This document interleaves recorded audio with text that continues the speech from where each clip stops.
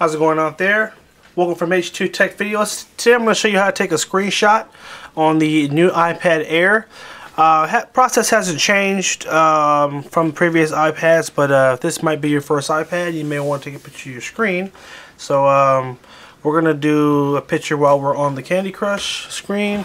And pretty much what you're going to do here is um, one finger you're going to have on the uh, home button, which is right here and the other finger is going to be on your uh, sleep slash power slash standby button right here. At the same time we're going to hold them you're going to hear a uh, flashing sound let you know the picture has been taken. Here we go same time hold 1 1001 it will flash and the picture has been taken. How do we know that? Well let's go on over to our photos. And here is our picture okay so that is how you take a screenshot and we could actually zoom in on these buttons right here and take a picture of that. So let's try it again. So again, one finger on the home button, one on the um, standby button. You must press them at the same time. Don't press one before the other or it won't work. Here we go.